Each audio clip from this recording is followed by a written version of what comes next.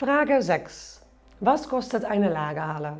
Der Preis für eine Lagerhalle hängt unter anderem davon ab, ob sie gedämmt oder ungedämmt ist. Unsere kleinste isolierte Halle kostet um die 9000 Euro. Eine große isolierte Halle um die 130.000 Euro. Ein zweiter Kostenfaktor ist die Zusatzausstattung. Bei uns können Sie optional weitere Türen und Tore bestellen, mit oder ohne Elektromotor. Auch weitere transparente Lichtplatten und ein Dachentwässerungssystem stehen zur Auswahl. Kostenfaktor Nummer 3 sind die Transportkosten. Die Lieferung einer kleinen, nicht isolierten Lagerhalle kostet zwischen 525 und 800 Euro, je nach Standort in Deutschland.